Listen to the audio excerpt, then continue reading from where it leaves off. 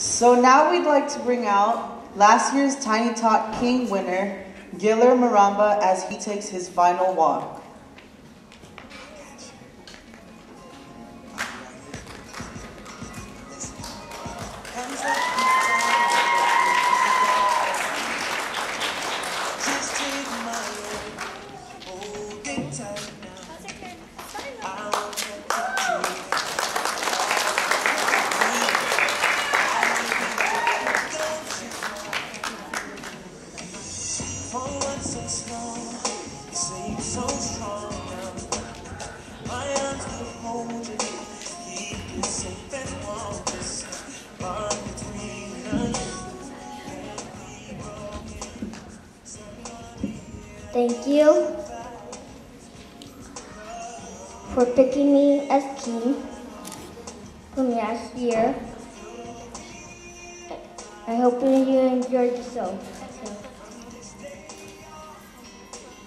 And best luck to all the candidates.